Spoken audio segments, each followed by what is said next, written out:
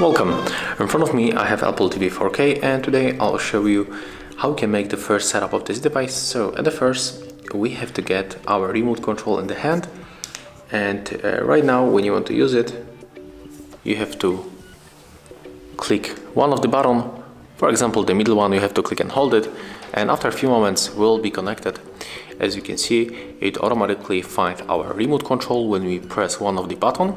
Uh, right now we have to choose one of the language. I'm going for the English.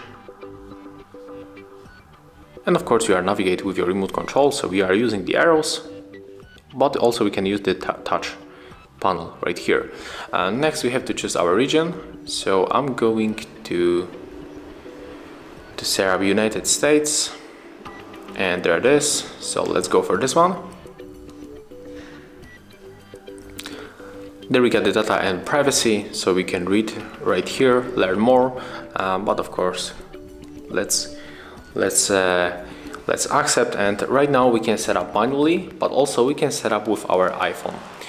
Uh, I can recommend you the first one uh, because it will be much faster than uh, use it than make the setup manually so let's choose to set up with iphone and if you got your iphone close to the apple tv you will automatically get this notification so let's click to set up with iPhone on our remote control and grab the iPhone and click to set up right here.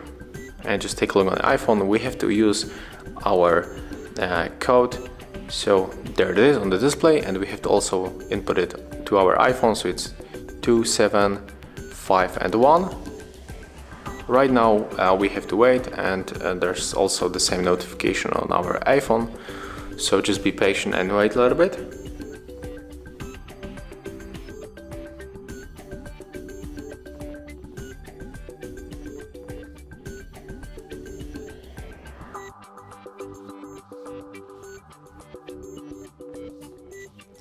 Okay, and as you can see on our iPhone, we got this uh, notification that we can use our remote on our iPhone.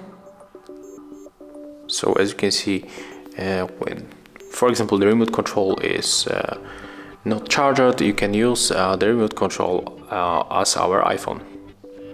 So we can use also voice search, we can go for the menu, we can go for the search, normal, we can play, pause. So you have to decide what you want to use and uh, I'm going to use the remote control. Uh, here we got uh, the password required for purchase. Uh, I'm going to never required. Here we can set up uh, the settings from the iPhone. Let's continue and let's follow the same like on our iPhone. Right now uh, there's the question that we have the TV provider. I don't have it and I'm not going to sing in.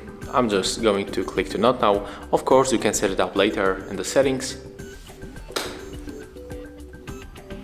Uh, here we got uh, our home screen, we can turn it on, the same like on the other devices that we have uh, from Apple. And right now we can set um, our bedroom. Here we can get the Aerial screensaver, we can get download or we can set it up later. And of course that's what I'm going to do.